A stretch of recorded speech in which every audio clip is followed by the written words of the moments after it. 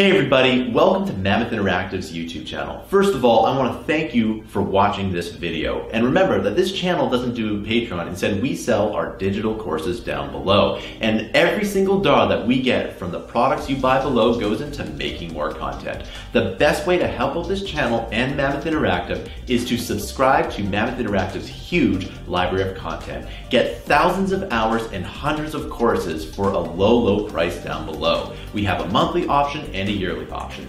Thanks for listening, and I'll see you in the video. Hey everybody, welcome to this video. In this video, I'm going to show you how to add in a uh, an object here uh, that will uh, allow you to kind of put text over that object. So this is actually really easy to do. Okay, so first things first, we need to make a blueprint class.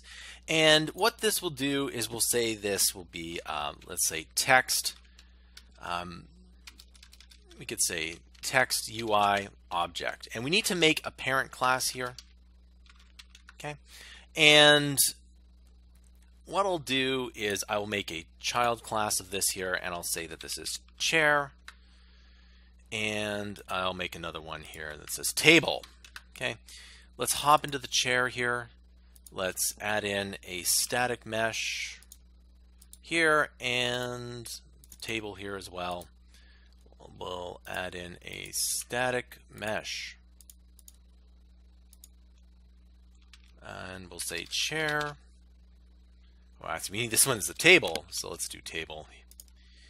And chair. All right, so there we go. Um, let's compile both of these here and drag them onto the scene. So we now have items that we need to can use. So we have the chair here, the table. And we might as well just put those two there. Okay, so now that we have both of those, we need to create a user interface here. And we're going to call this, um, we'll call this info text. Okay, and within info text, um, we need to uh, do a couple things, right? Um, let's hop into the info text here. And um, we need to add in some text. And I'm going to move this all the way up to the top here and we're going to call this um, text description. Okay, and within text description, uh, this is basically you know when we hit that, uh, it's going to show this text. Okay, so let's start off by um, uh, let's start off by figuring out how we can show that text on screen and then we'll move from there. So what I'm going to do is so I have my my uh, gun here, and whenever I point to an object, it's going to essentially create um, it's going to create the text over that. Now this is really, really easy to do. So let's hop into our first person blueprint and let's hop into our first person character. Okay. And in here, we need to add in an every tick or event tick. And within this event tick, we need to add in a line trace by channel. Okay, and in order to make this work, we need a um, camera manager. All right, and we're going to get world location or um, get location, get the camera location here. We're going to move that uh, just like that here. And then the next thing we need to do is we need to um, player um, we need to uh, get the player here. And this is uh, this is pretty easily done. So let's say player controller. Get the player controller. We're going to get forward actor here. And basically, we are going to, um,